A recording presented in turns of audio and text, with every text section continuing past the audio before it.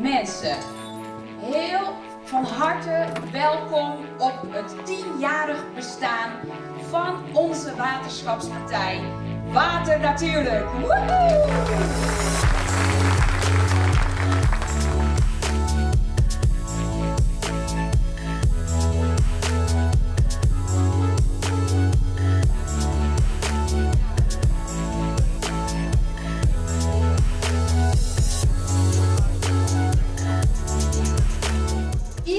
Jullie heeft op zijn of haar manier een positieve bijdrage eh, geleverd aan dat succes. Want wij zijn de delta van drie grote Europese rivieren. De Rijn, de Maas en de Schelde.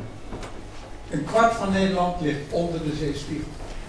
Als er geen waterbeheer is, is ongeveer 60% van Nederland in problemen met water. Dus waarom steken wij nog steeds ons kop in het zand? Waarom is er niet een gevoel van shit, ik wist niet dat het zo erg was, ik moet aan de bak? De allermakkelijkste en ook meest verantwoorde manier is gewoon te zorgen dat we binnen 15 jaar naar nul uitstoot gaan. Dat is de enige manier om het te redden. En dat kunnen we namelijk nu nog wel. En het kost maar 1 à 1,5 procent van het bruto nationaal product per jaar. Totale afschrijving. Als ze het echt weten, dan zullen ze het willen voor hun kinderen en voor hun kleinkinderen. Dan zullen ze weten, in de toekomst hoort mee te praten. En dan gaan wij dit doen. En dan is natuurlijk, zijn de waterschappen, die zijn ontzettend belangrijk. Water speelt zo'n grote rol in de wereld.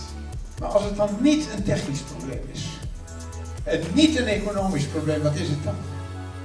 Het is natuurlijk een politiek en maatschappelijk probleem. De politiek moet het willen, moet het durven, moet de leiding durven nemen. Want we moeten voorbij het stadium van mooie projectjes en goed bedoelde eh, eh, symbolische zaken, maar we moeten echt gaan, gaan timmeren. Dus ik heb ook tegen de minister gezegd, stop met polderen, ga timmeren. Je laat ook zien wat je aan positieve dingen kunt bieden voor de mensen. En daarmee verbind je water, natuur en samenleving.